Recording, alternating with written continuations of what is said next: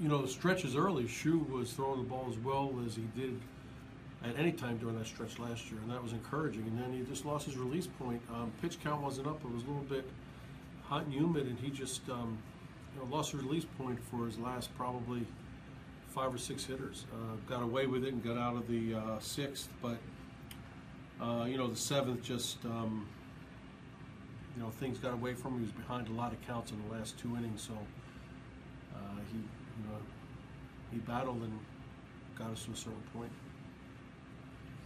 Talk about Cameron Maybin. He's certainly the igniter at the top of the lineup.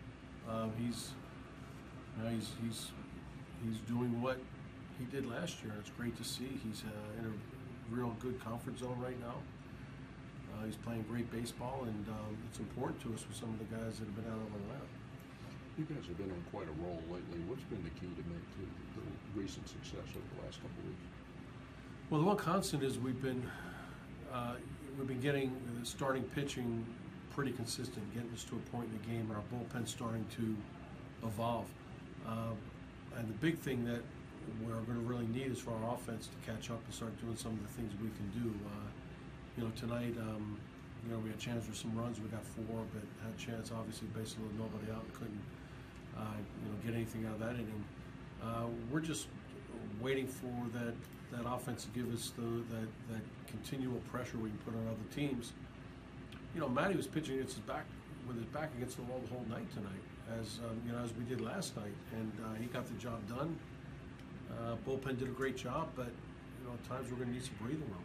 How would you describe what Petit did for you guys tonight and really for the whole two months? I think uh, everything we're talking about, um, you know, uh, Petit's been as important as any piece on our pitching staff. Uh, you know, he fills in late in the game. He can give you mid mid innings, give you multiple innings. Uh, and for him to get in there and you know struck out the three batters he faced, you can't do much better than that. How big was it for you guys to get to Cobb early, uh, considering how, how we pitched after the first inning? Well, uh, he really he pitched a good game. Um, you know, getting any early runs are always important. But as you can see, if you let him settle in, he knows how to pitch and knows what he's doing. And he pitched a great game for those guys. So you're trying to get every pitcher early. Um, tonight we did with the back-to-back from uh, you know Cam and Mike to get started, and we made it hold up.